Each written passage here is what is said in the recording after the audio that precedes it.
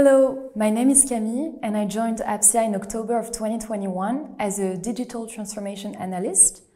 On a daily basis, I worked on Dynamics 365 Finance and Operation, which is the ERP developed by Microsoft. And previously to APSIA, I worked as a supply chain manager. I chose to work at APSIA because I wanted to have a more technical perspective and I also wanted to work in a consulting environment to be able to see different projects and different industries. I also knew some people that were working already at Apsia and that were really satisfied with the atmosphere here. And the fact that Apsia has the accreditation Happy at Work really comforted me in the idea that it was a great place to work.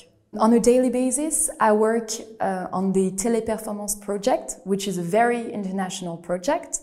My role is to ensure that I understand the client needs and that I meet these needs and these challenges.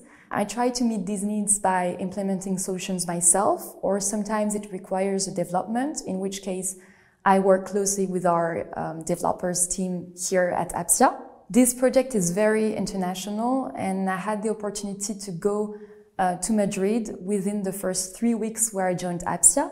And next year, I'm going to be able to go to California with my team to implement this ERP.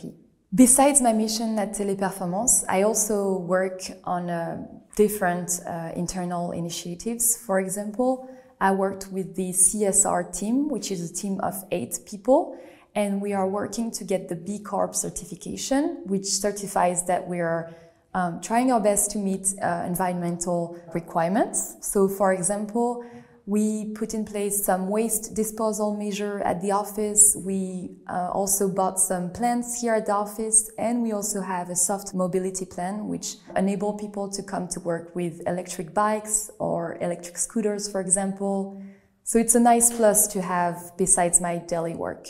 If what I've said spoke to you, do not hesitate to apply here at Apsia in the Paris office or in Barcelona, in Italy, and soon much more offices to come.